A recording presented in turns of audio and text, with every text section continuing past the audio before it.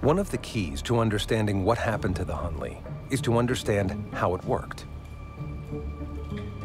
In its day, the Hunley was state-of-the-art as a submersible vessel and a stealth weapon.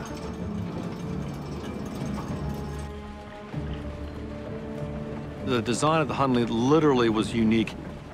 It's extremely sleek, very hydrodynamic. And for the period that it was made in, it's, it's really an anomaly. The fishboat, as it was called, used fins or diving planes to submerge and surface. When they were pointed down, oncoming water drove the sub deeper. When pointed up, water flowing beneath lifted it toward the surface.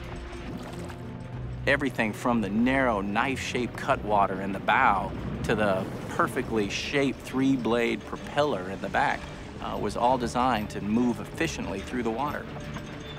Not only is it stealthy, but it looks mean. Somebody put some style into it and it looks like a war machine. The 40-foot sub held a crew of eight. The pilot looked out the forward conning tower through glass viewports to navigate. Using joysticks, he moved the dive planes and the rudder. To control buoyancy, the crew used pumps to fill or empty a ballast tank at each end of the sub. The propulsion system was simple, pure muscle power. Seven crewmen sat on a wooden bench and turned a crank that rotated the sub's propeller shaft. The submarine's interior diameter is less than four feet, so you are hunkered over and you are actuating this crank. How far are we now, Lieutenant? You're sweating, um, you're cramped, the humidity inside, you're in a sealed container. I can't imagine how uh, uncomfortable it must have been. Its power system was crude, but the Hunley was 50 years ahead of its time. The world would not see another successful combat submarine until the German U-boats of World War I.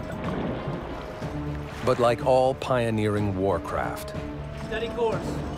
The Hunley was not an easy machine to master. The Hunley was a relatively simple machine as far as to dive and surface, but it was also unforgiving. The problem, I think, with the Hunley is it had no room for pilot error. I mean, it functioned exactly how it was designed, everything worked, but if you made a mistake, you being the operator, if you left a valve open too long and flooded a ballast tank too full, any sequence of events, um, I think you paid with your life.